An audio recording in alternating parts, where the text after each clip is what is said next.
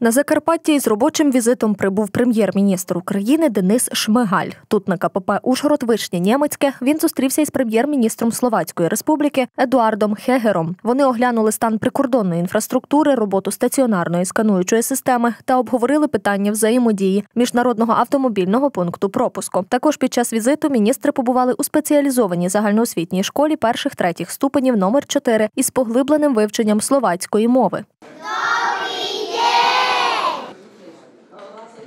Денис Шмигаль підкреслив, співпраця у сфері культури і захисту прав національних меншин завжди була пріоритетами у двосторонніх відносинах зі Словаччиною. Для України також ключовим є збереження мережі шкіл із вивчення української мови та підтримка із боку словацької держави української освіти у Словаччині. Після продовжили роботу у форматі двосторонньої зустрічі. Говорили про функціонування міжнародного аеропорту Ужгород на взаємовигідних умовах, можливості для реконструкції пункту пропуску Ужгород Вишня Німецьке. Шмигаль подякував прем'єр-міністру Словаччини Едуарду Хегеру за візит в Україну та надзвичайно плітну зустріч.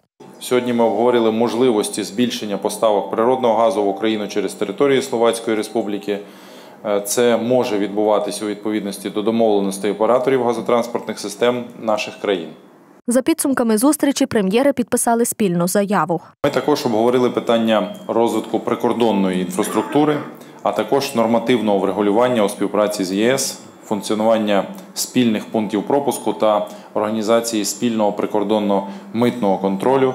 Є спільне бачення доцільності запровадження е, такого контролю в пунктах пропуску, які плануємо будувати в майбутньому, наприклад, Соломонова чи. Прем'єри домовилися активізувати співпрацю в реалізації курсу України на європейську та євроатлантичну інтеграцію. Підтвердили спільну зацікавленість в інтеграції України до європейського ринку електроенергії та природного газу. Дійшли згоди, що військово-технічне співробітництво є перспективним напрямком для подальшого розвитку взаємовідносин.